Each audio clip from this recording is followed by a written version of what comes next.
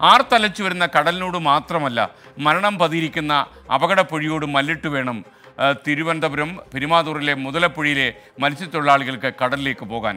പുതുക്കുറിച്ചി സ്വദേശി John Fernandez ആണ് ഏറ്റവും ഒടുവിലത്തെ ഇര ഇന്ന് വെളുപ്പിനാണ് അദ്ദേഹം മരിച്ചത്.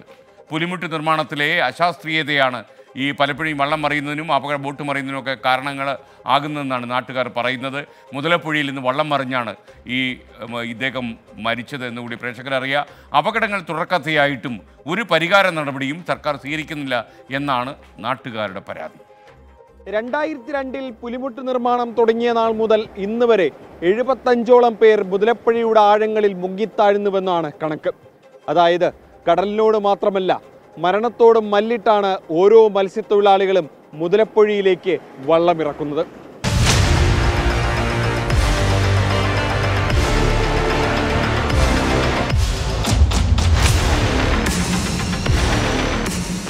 ഒടുവിലത്തെ ഇര പുതുക്കുറിച്ചി സ്വദേശി ജോൺ ഫെർണാണ്ടസ്. പതിവ് പോലെ വലയുമായി വള്ളത്തിൽ മീൻ തേടിപ്പോയതാണ് ജോണും കൂട്ടരും.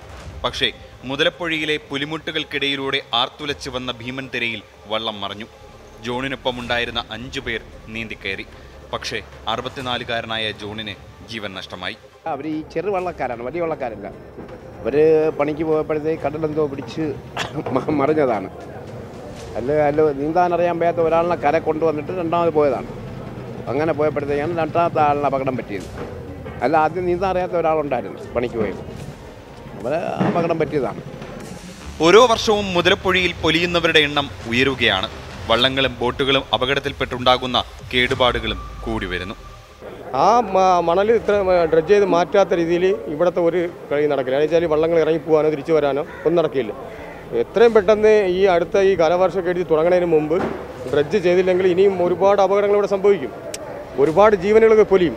അതിന് സർക്കാർ മുൻകൈ എടുത്തുകൊണ്ട് അടുത്ത മെയ് പത്താകുമ്പോഴത്തേക്ക് അദാനിക്ക് കരാർ തീരെയാണ് അവരിത് കഴിയുമ്പോൾ അവർ കളഞ്ഞിട്ട് പോകും. ഈ പ്രശ്നമുണ്ടായപ്പോൾ തന്നെ പരിഹാരം തേടി സംസ്ഥാന തുറമുഖ വകുപ്പ് വിദഗ്ധ പഠനം നടത്താൻ പുണെയിലെ പ്രശസ്തമായ central water and power research station എന്ന കേന്ദ്ര സർക്കാർ സ്ഥാപനത്തിന്റെ സഹായം തേടി അവർ ദീർഘമായ പഠനം നടത്തി കണ്ടെത്തലുകളും നിർദ്ദേശങ്ങളും സമർപ്പിക്കുകയും ചെയ്തു.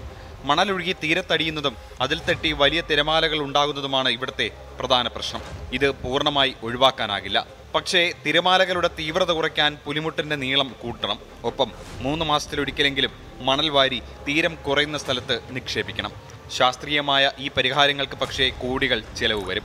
അതുകൊണ്ട് സർക്കാർ നീക്കത്തിൽ നിന്ന് പിന്നോട്ട് പോകുന്നു.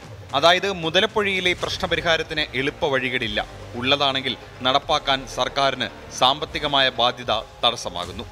ഏതൊരു തുറമുഖത്തിന്റെയും അടിസ്ഥാനപരമായ ആവശ്യം അത് ഉപയോഗിക്കുന്നവർക്ക് വള്ളങ്ങളിൽ പോയി തിരികെ വരാൻ സുരക്ഷിതത്വം നൽകണമെന്നതാണ്. എന്നാൽ മുതലപ്പുഴി തുറമുഖം ആ സുരക്ഷിതത്വം നൽകുന്നില്ല. പിന്നെ ഇതുകൊണ്ട് അവർക്ക് എന്ത് പ്രയോജനം? മുതലപ്പുഴയിൽ നിന്നും അജീഷ് ജയകുമാർ ട്വന്റി ഫോർ. പൊതുജനം കഴുതയല്ല സാർ. തുടരെ തുടരെ പരാതി പറയുകയല്ലാതെ തങ്ങൾക്ക് ശാശ്വതമായ ഒരു പരിഹാരവും ഉണ്ടാകുന്നില്ല എന്നാണ് മുതലപ്പുഴയിലെ ആളുകൾ പറയുന്നത്. അപകട മരണങ്ങളും തുടർക്കഥയാകുന്നു അവിടെ. മുതലപ്പുഴിക്കാർ ചോദിക്കുന്നത് ഇതിനൊക്കെ എന്നാണ് ഒരു അവസാനം? കാണാം നമുക്ക് ചില പ്രതികരണങ്ങൾ. ഈ ആർബർ ശരിയല്ല.